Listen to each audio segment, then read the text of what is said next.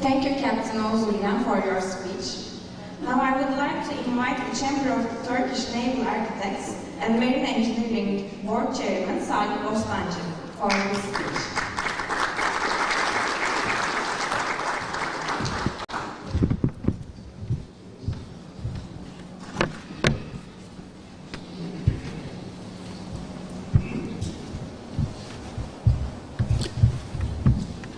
Sayın rektörlerim, sayın dekanlarım, değerli katılımcılar, değerli basın mensupları, hepinizi ikinci Kılavuzluk, Romörkörcülük Hizmetleri ve Teknoloji Kongresi'ne hoş geldiniz diyorum. Gemi Mühendisleri Odası adına saygı ve sevgiyle selamlıyorum.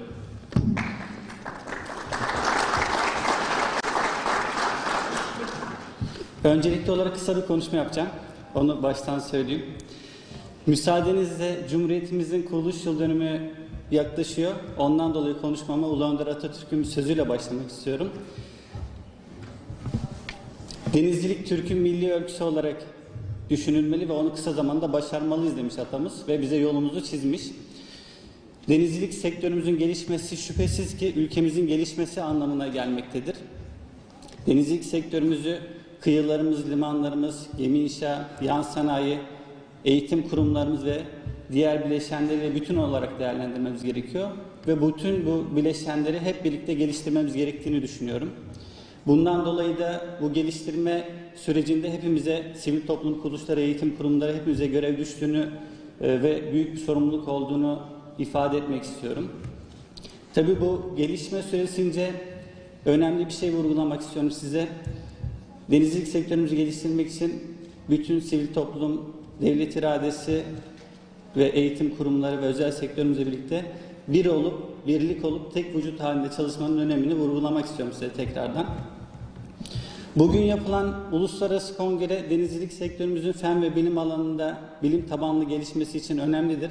Bundan dolayı düzenleyen Gemi Makineleri İşletme Mühendisleri Odası'nda başta yönetim kurulu ve organizasyon komitesine e, tebrik ediyorum. Destek veren kurum ve kuruluşlara teşekkür ediyorum.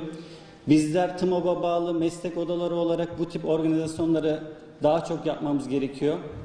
Hatta bunun da ötesine geçip Türkiye'deki ARGE ve inovasyon faaliyetlerinde başında olmamız gerektiğini düşünüyorum. Ve bu konuda da herkesin belki ortak düşüncesidir. Ee, üniversiteyle sanayi işbirliği, bilim ve üretimin arasındaki bu köprüyü kuracak olan tek yapının meslek odaları olduğunu sizle paylaşmak istiyorum burada. Kongremizin faydalı ve verimli geçmesini, özellikle denizcilik sektörümüzü ve ülkemize hayırlı olmasını diliyor. Hepinizin şimdiden Cumhuriyet Bayramı'nı kutluyor.